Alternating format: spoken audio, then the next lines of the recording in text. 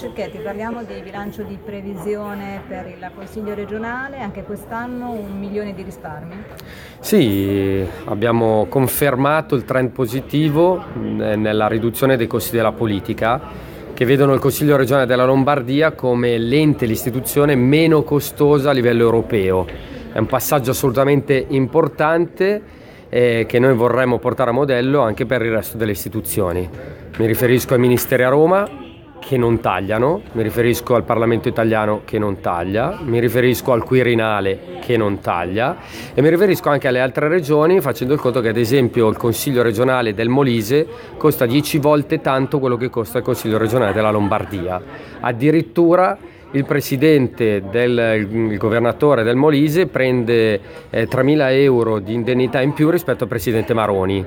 Peccato che Maroni, eh, il presidente della regione Lombardia, governa su un, 10 eh, milioni di abitanti, quindi uno Stato di fatto, la Lombardia è più grande della Grecia, del Belgio e di altri Stati nazionali, mentre il Molise è grande come due circoscrizioni del comune di Milano. Ecco, questa è una cosa folle eh, noi lo diciamo, lo gridiamo da tanto tempo, però nel frattempo facciamo quello che, che è giusto fare per i nostri cittadini, quindi riduzione dei costi della politica e continuiamo in questo senso. Chi deve intervenire per tagliare i costi della politica per tagliare per esempio lo stipendio del governatore del Molise?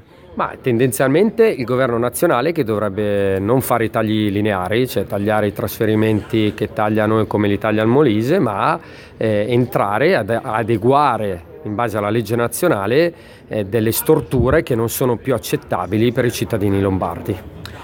C'è un nodo però che si chiama mm, una voce che è quella legata al referendum sulle autonomie, una voce molto discussa. Ma, mm, questo riguarda più il bilancio in generale del, della regione, è molto discussa. Noi ogni anno come Regione Lombardia regaliamo allo Stato centrale 54 miliardi di euro. Noi chiediamo con un referendum, è la prima volta che si chiede direttamente l'opinione del popolo lombardo, cosa vuole fare da grande.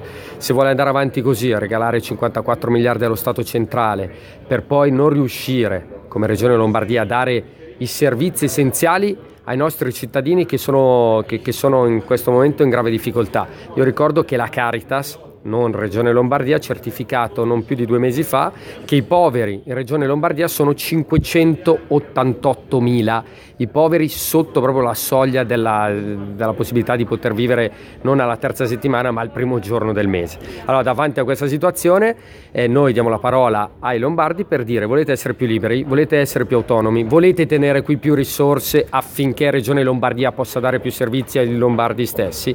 Se sì, Bene, ci sarà un referendum, se no, come qualcuno, eh, ad esempio penso al Partito Democratico, vuole dare questa indicazione e tanti auguri, poi non si lamentino se le cose non funzionano. Senti, Corrado Passera ha detto che bisognerebbe trasformare la città metropolitana in città-stato. Le piace l'idea? Ma eh, non lo so, magari Stato Lombardo mi piace ancora di più, poi la città metropolitana all'interno dello Stato Lombardo potrebbe essere anche un'idea.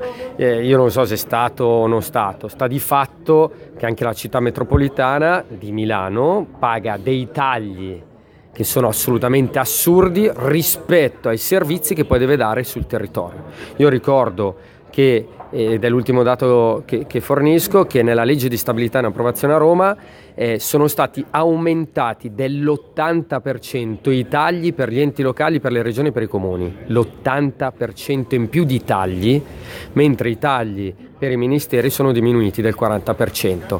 Se questo è un buon giorno, mm, ecco, io preferisco dormire, andare avanti a dormire. E visto che non vogliamo dormire ma ribellarci, noi chiediamo ai lombardi di dire cosa ne pensano. Quindi avanti con il referendum, nonostante eh, le stupidaggini che qualcuno va in giro a dire, ad esempio, sui costi del referendum stesso. Il referendum non costerà più di 10 milioni di euro, ma se dovesse andare in porto, se dovessimo applicare quello che noi chiediamo nel referendum, quindi più autonomia e più risorse, noi magari di questi 54 miliardi di euro che ogni anno lo Stato centrale di fatto ruba ai lombardi, noi potremmo di fatto tenercene di più e quindi non sono 10 milioni di euro a fronte di 54 miliardi di euro che potremmo risparmiare a spaventarci, anzi.